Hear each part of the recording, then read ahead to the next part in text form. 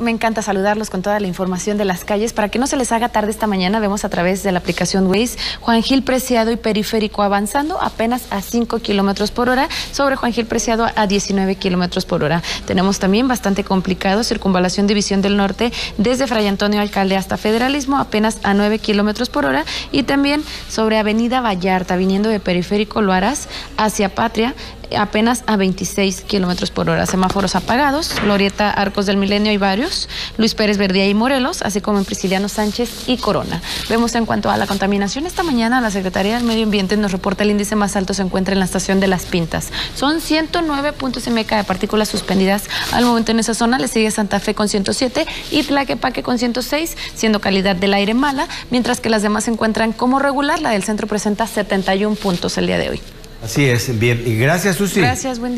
En conjunto con la humedad del Mar Caribe y del Pacífico estará trayendo lluvias en el sureste de la República, mientras que en gran parte de ella tenemos temperaturas por la mañana bastante frías, por la tarde ya bastante calurosas, así que recuerda hidratarte muy bien. Al momento en el centro de la ciudad tenemos 13 grados con un cielo despejado, ya más tarde la temperatura se eleva a los 28 y en gran parte de la zona metropolitana de Guadalajara estas temperaturas continúan presentes, sobre todo estables, mañanas frías, bastante calurosas las tardes. Vemos en Tonalá, amanecen con 10, igualmente en El Salto, Tlaquepaque una mínima de 11, Zapopan 12 y Tlacomulco 10. Vemos los próximos tres días en la ciudad de Guadalajara. En el centro de la ciudad sabemos es un poquito más cálido que en la periferia. Si vives en la periferia estarás amaneciendo entre 7 y 8 grados, ya en el centro mínimas de 11 y 12. Alcanzando 28 y 29 para martes, miércoles y jueves. Y saludamos también con muchísimo gusto a todos los vallartenses que nos ven desde estas hermosas playas. Tenemos excelentes condiciones. 22 en el centro de la ciudad, ya más tarde sube a los 28 con escasa nubosidad.